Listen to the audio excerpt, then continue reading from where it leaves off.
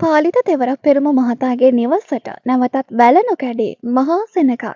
අපිට ඔබතුමා ජීවිතේ කවදාවත් අමතක වෙන්නේ නෑ. පුතාව ඡන්දෙට ඉදිරිපත් කරන්න ඉන්න තැනක ඉඳන් ඔබතුමාගේ ආශිර්වාදය ලබා දෙන්න. පැමිණි ජනතාව ඉල්ලපු දේ.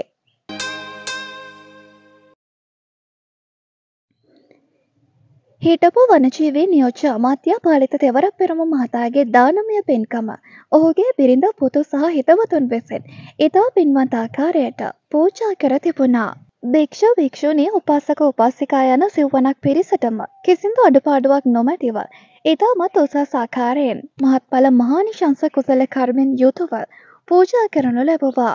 එම දානමය පින්කම සඳහා යටතුළ වත මතුකම සහ ඔහුට ආදරය කරනු ලබන විශාල ජනතාවක් එක් රැස් වී සිටි ආකාරය දැක ගන්න ලැබුණා. එහි පැමිණි බොහෝ දෙනා පාලිත තෙවර පෙරම මහතාට පින් ලබා දේ මෙසේ පවසා ඉල්ලීමක් කර තිබුණා. පාලිත මහත්තයා හින්දා තමයි අපි වසංගත කාලේ නොමැරී බේරුණේ. කුලී වැඩක් කරගන්න බැරුව හාමතේ කන්න දෙයක් ගන්න අතේ සතයක්වත් නැති වෙලේ පොලිසි වලින් බැනුම් ආගෙන අපට කන්න බොන්න ලොරි පිටින් ගෙනත් උන්නු රත්තරන් මහත්තයා. පොඩි පුතේ ඔයා තාත්තා වගේ දේශපාලනයට එන්න. ඡන්දේ ඉල්ලන්න සමාජයට සේවයක් කරලා තාත්තා කරගෙන ගිය වැඩපිළිවෙල දිගටම කරන් යන්න යනුවෙන් බොහෝ දෙනෙකු ඉල්ලීම් කර තිබුණා.